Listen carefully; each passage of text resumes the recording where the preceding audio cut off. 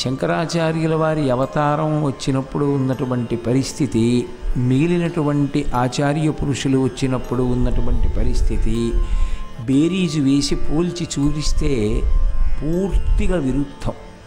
శంకరాచార్యుల వారు భూమి మీద అవతరించేటటువంటి సమయానికి అసలు శంకరాచార్యుల వారి వెంట కలిసి నడిచేటటువంటి వాడు ఒక్కడు లేడు. శంకరాచార్యుల వారికి ప్రభుత్వం యొక్క మద్దతు లేదు. ఆయన ఒక్కరే. అందుకే శ్రీరామాయణంలో హనుమ ఎలా ఉంటారో కలియుగంలో శంకరాచార్య స్వామి వారి అవతారం అలాగే ఉంటుంది. హనుమ ఒక్క నిమిషం విశ్రాంతి తీసుకోరు. ఆయన ఏది చేసినా లోకోపకారం కోసం చేస్తారు. శంకరాచార్యుల వారు శరీరంతో ఉన్నది ముప్పై రెండు సంవత్సరాలు. వారు మూడు మాటలు భారతదేశం అంతటా నాలుగు చెరగుల పాదచారి అయి పర్యటించారంటే పర్యటించడంతో సరిపోయిందా? ఎక్కడికి వెడితే అక్కడే వాదనలు. ఎన్ని చోట్ల వాదించారో ఎన్ని ఎక్కడికి వెళ్ళినా గెలిపే. మళ్ళీ ఆ వేదాంతర్గతమైనటువంటి అద్వైత సిద్ధాంతాన్ని స్థా ప్రచారం చేసి వేదము యొక్క ప్రమాణాన్ని సువ్యవస్థితం చేయడానికి వారు పడినటువంటి కష్టం సామాన్యమైంది కాదు. అసలు దాంతో ఎవరినీ పోల్చడం సాధ్యం కాదు. శంకర భగవత్పాదుల యొక్క దార్శనికత అంత గొప్పది. అటువంటి శంకరాచార్యుల వారు అవతార స్వీకారం చెయ్యడానికి ముందే భారతదేశంలో మళ్ళీ ఆ సనాతన ధర్మ వ్యవస్థని సువ్యవస్థీకృతం చెయ్యడానికి తన మార్గంలో జ్ఞాన మార్గంలో నడవకపోయినప్పటికీ కర్మ మార్గాన్ని ముందు స్థాపించడం కోసం బలవత్తరం చేయడం కోసం సాక్షాత్తుగా పరమశివుని యొక్క కుమారుడైనటువంటి సుబ్రహ్మణ్యేశ్వర స్వామి వారినే కుమరిల భట్టుగా పంపారు. కుమరిల భట్టుది కర్మవాదం మీమాంసకుడు. అంటే ఎంతసేపు కూడా కర్మకి పెద్దపీట వేస్తారు. వేదం రెండుగా విడిపోతుంది. ఒకటి కర్మభాగము రెండవది జ్ఞానభాగము. కర్మభాగం అంతా కూడా కర్మకాండ అంటారు.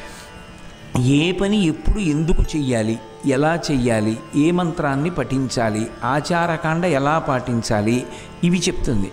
జ్ఞానకాండ ఇక కర్మ అంతా చేసి చేసి చేసి చేసి చిత్తశుద్ధి పొందిన తరువాత బ్రహ్మానందాన్ని అనుభవించడానికి యోగ్యమైన రీతిలో జ్ఞానాన్ని ఎలా పొందవచ్చో ఆ జ్ఞానము చేత ఆత్మగా తాను ఎలా అనుభవంలో నిలబడవచ్చో తెలియచేస్తుంది.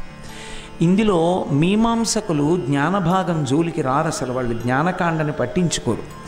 ఎందుకు మరి జ్ఞానకాండ వేదంలో ఇవ్వబడింది అని ప్రశ్నిస్తే వాళ్ళు ఏమంటారంటే ఉత్సాహపరచడానికి జ్ఞానకాండ వచ్చింది తప్ప యథార్థం కర్మకాండే అంటారు కాబట్టి ఆ కర్మకాండని బాగా బలవత్తరం చేయడానికి వచ్చినవాడు కుమరిల భట్టు సాక్షాత్తు సుబ్రహ్మణ్యుడు. మరి శంకరాచార్యులు వారు భక్తితో కర్మని ముడివేసి జ్ఞానం వైపుకు నడిపిస్తే కర్మ మార్గం శంకరాచార్యుల వారి మార్గం ఒకదానికొకటి విరుద్ధం కదా. మరి శంకరాచార్యుల వారి అవతారాన్ని సమర్థించడానికి వచ్చినటువంటి సుబ్రహ్మణ్యేశ్వర స్వామి వారి అవతారమైన కుమరిల భట్టు అవతార ప్రయోజనం ఏ విధంగా శంకరాచార్యుల వారి యొక్క సిద్ధాంతాన్ని వారి అవతారము యొక్క ప్రయోజనాన్ని సమర్థిస్తుంది?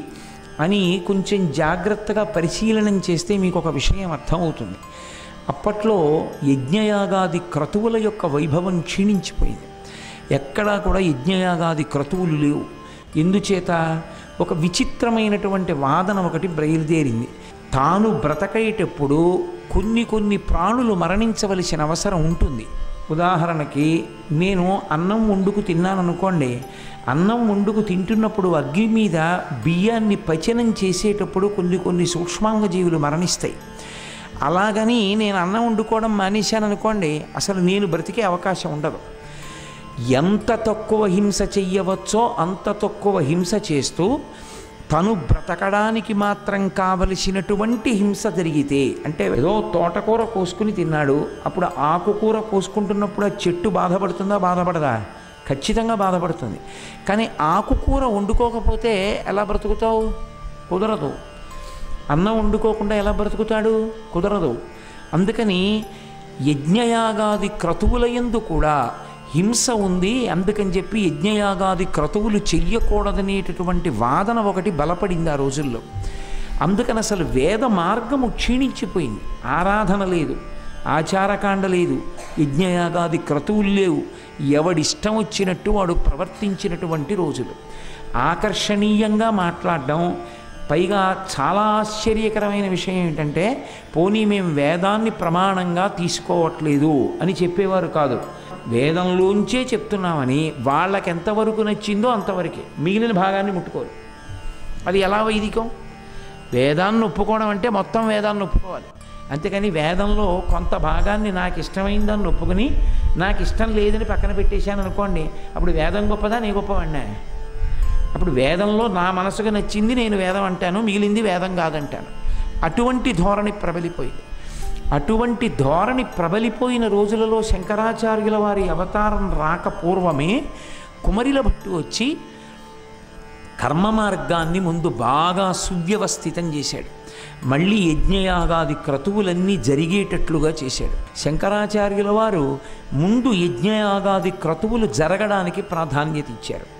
తన అవతారంలో భక్తిని కర్మతో ముడివేసి జ్ఞానప్రచారం జరిపించడం కన్నా ముందే కర్మ మార్గాన్ని బాగా స్థిరీకరించడానికి కారణమేమో నేను మీతో ప్రస్తావించాను. దేవతలు వెళ్ళి పరమశివుడి దగ్గర ఏడ్చారు మాకు అన్నం లేదు యజ్ఞయాగాది క్రతువులు ఆగిపోయాయని. అన్నమో రామచంద్ర అని ఏడుస్తున్నటువంటి దేవతలకి ముందు హవిస్సు అందేటట్టుగా చూడాలంటే యజ్ఞయాగాదులు ముందు జరగాలి. అది జరిగితే దేవతలు సంతోషపడితే వర్షం పడితే ముందు ప్రజలు శాంతిగా ఉంటారు దేవతలు శాంతిగా ఉంటారు. అందుకే ముందు యజ్ఞయాగాది క్రతువులు బాగా జరిగేటట్టుగా చేసేట్టు చూడడానికి తన కుమారుడైనటువంటి సుబ్రహ్మణ్యేశ్వర స్వామి వారిని కుమరిల భట్టుగా పంపారు.